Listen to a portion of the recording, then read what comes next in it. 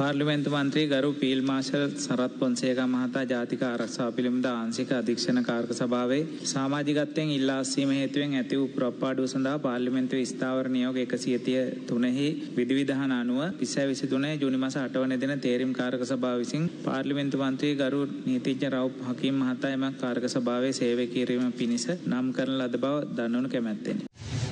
චීන කාබනික පොහොර සඳහා ඇමරිකානු ඩොලර් මිලියන හයයි දසම නමයක් ගෙවල තිබෙනවා. පෝරත් නැහැ මුදලුත් නැහැ. ඒ බෑන් ගැරන්ටියක එන්කෑශ් කරල මේ රටට සිදුවුණු පාඩුව පියවාගන්නට වැඩ කටයුතු කරලත් නැහැ. ඒ වියදම් පිළිබඳව සහ හොරකම් පිළිබඳව නිශ්චිත උත්තරයක් දෙන්නේ නැහැ. දෙන්න බෑ. ඒ හොර හොර කල්ලියම ඉන්නේ. හැබැයි අපි බලාපොරොත්තු වෙනවා. දැන් රනිල් වික්‍රමසිංහ ජනාධිපතිතුමා නියෝජනය කරන මේ ආණ්ඩුවේ. නියෝජනය කරන්න මෙහෙම පැනලා ගිහිල්ලා හිටපු කවුරු හරි අපි ගමු දැන් මේ හොරුන්ට උත්තර දෙන්න බෑ ඔබතුමා හොර ගොඩේ ඉන්නේ ඒ එක්කෙනෙක්කාරී නැගිලා මේ හොරුන් අල්ලනවා මේකට වග කියනවා මේක එලි දක්වනවා හරි කියන්න පුළුවන් කොන්දක් තියෙන කෙනෙක් කියන මොකද අපිට විපක්ෂයේ ඉඳගෙන කෑ ගහනවා විතරයි එතකොට මේක සම්බන්ධයෙන් ඔඩිට් වාර්තා ප්‍රමාද කරනවා යන්න පුද්ගලයා බේරගන්න. හරි බොහොම ස්තුතියි ඔබතුමාට. ඔබතුමා බොහොම ස්තුති කියලා බෑ. ඒ වගේ හොරකමක් පෙන්ලා දුන්නා ඔබතුමා බොහොම ස්තුතියි කියන්න එපා. හොරකමට ඔබතුමා නෙමෙයි, බොහොම මම මම මේ කියන්නේ ඒක නෙමෙයි.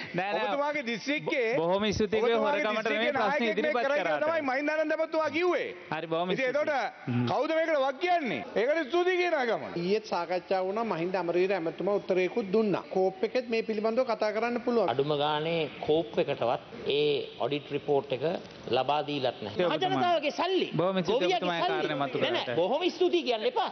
නෑ ඉතින් විපක්ෂ නායකතුමා ඔකට දැන් මේ තප්පර ගානේ පරීක්ෂණයක් කරන්න බෑනේ. බොහොම ස්තුතියි කියන්න එපා. බොහොම ස්තුතියි කිව්වම අර බොහොම. ඒක වැරදියට ඔබතුමා. තේරුම් ගන්න එපා. බොහොම ස්තුතියි කාරණේ ඉදිරිපත් කරපු එකට. කාම සිද්ධියට. ආණ්ඩුවෙන් කෝප් කමිටුට අවශ්‍ය නම් පුළුවන් වර්තමාන තත්ත්වය මේක මේක ජාතික වශයෙන් වැදගත්කමක් තියෙන ප්‍රශ්නයක් නම් විශේෂ ශැසියක් තියලා විගණකාධිපති ගෙන්නලා තීන ඩොකියුමන්ට්ස් ටික ගෙනල්ලා කෝප් කමිටුවට නම් සබ් කමිටි එකක් දාලා හරි මේක පරීක්ෂා කරන්න. කුවේට් රටේ අලුතෙන් පටන් ගත්තා වෙනම රක්ෂණයක් හාම්පුතාට කරන්න කියලා තමයි මම හිතන්නේ ඒ යෝජනාව ආවේ. දැන් ප්‍රශ්නේ තියෙන්නේ මේ රක්ෂණය දැනට සිද්ධ කරන්නේ කුවේට් සමාගම. පිටරටක සිද්ධ වෙන අනතුරු වලට පිටරටක රෝහල්ගත වීම වලට ලංකාවේ රක්ෂණයකින් ඒ රටේ වැඩ කටයුතු කරන්න බෑ. මම නෙවෙයි මේක පටන් ගත්තේ. මේක පටන් ගත්තේ ඉතිහාසයේ ඉඳලා පැවතගෙන ඇවිල්ලා තලත අතුකෝරල මැතිනියට තවමත් මේ පිළිබඳ පරීක්ෂණයකුත් තියෙනවා. ඇයි මේක කුවේට් රට ගැන විතරක් කතා වෙන්නේ? ඒ තමයි කුවේට් රටේ නියෝජිතයෝ කීප දෙනෙක් ඉන්නවා. ඒ රට ඇතුලේ අපේ රටේ කලින් තානාපති කාර්යාලයේ හිටපු ඇතැම් නිලධාරීන් සමග එකතු වෙලා සහ ලංකාවේ ඇතැම් දේශපාලඥයෝ සම්බන්ධ කරගෙන එහි ඇතුලේ නීති විරෝධී රක්ෂණ ක්‍රමයක් ක්‍රියාත්මක කරපු. ලංකාවේ විශාල විදේශ ශ්‍රමිකයන් ප්‍රමාණයක් ගිහිල්ලා ඔවුන් යන්නේ විසිට වීසාකට ගිහිල්ලා ඔවුන් ඇවිද ඇවිද ඉඳලා කොහොම හරි රස්සාවක් හොයාගන්නවා. හැබැයි මේ අතරතුර මොකක් හරි අනතුරක් වුණොත් ඇමතුමා ඒ අය ඊට පස්සේ චෝදනා කරන්නේ ඔබතුමාට අමාත්‍යාංශයට නැත්නම් විදේශ සේවා නියුක්ති කාර්යාංශයට. මේ විසිට් වීසා මගින් විදේශගත වීම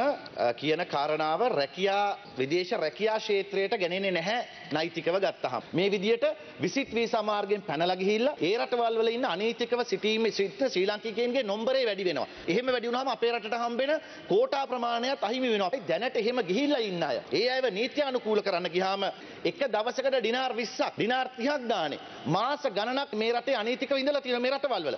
ඒ මුදල රුපියල් මිලියන දෙකයි තුනයි එක පුද්ගලයෙක්ගේ. කවුද එතකොට මේක ගෙවන්නේ? මන්ත්‍රීවරයෙක් ඉතාම තිරස්තියන විදියට ඝාතනය කරා මහපාරද. ඒ වගේම මහජන නියෝජ්‍යය ඇතුළු ශාල පිරිසකගේ නිවාස දේපල හානි වුණා. නමුත් ඒට නීතිය ක්‍යාත්මක වීම පිළිබඳව යම් ප්‍රමාදයක් තියෙනවයි කියන සමාජයේ මතයක් තියෙනවා. නීති මාර්ගයෙන් කටයුතු කරන විට පොලිසියට කරන්න පුළන් පරීක්ෂණ සියලු දේ කරලා එම ගොුණු නීතිපතිතුමා වෙත යොමු කරලා එතුමාගේ උපදෙස් අනුව ක්‍රියා කරන්න. අපේ රටේ සාමාන්‍ය දෙකෝට විසි ලක්ෂයක ජනතාවක් කියලා අපි උපකල්පනය කරොත් නියෝජ කතානායකතුමනි මෙයින් අවුරුදු දහට අඩු පිරිස සියයට දහතුන. අවුරුදු හැත්තෑවට වැඩි සාමාන්‍ය පිරිස සියයට පහක්. එක්කෝටි තිස්සය ලක්ෂයක විතර ජනතාවක් තමයි මේ විසි- අ, වර්ෂ පහක් තුළ විසිහතර ලක්ෂ අනුවට දහක් වහන ගෙනත් තියෙන්නේ. පස් දෙනෙකුටම එක්කෙනෙක් මේ වර්ෂ පහ තුළ විදේශයෙන් වාහනයක් ගෙනත් තියෙනවා. මේවැ සියයට හැත්ත පහක් අසුවක්ම බැංකු නායමත ගත්ත වාහන. රටේ ලෝකෙ සිදුවන උණුසුම් පුවත් දැනගන්න සියත නිවස් YouTube channel එක අදම subscribe කරන්න.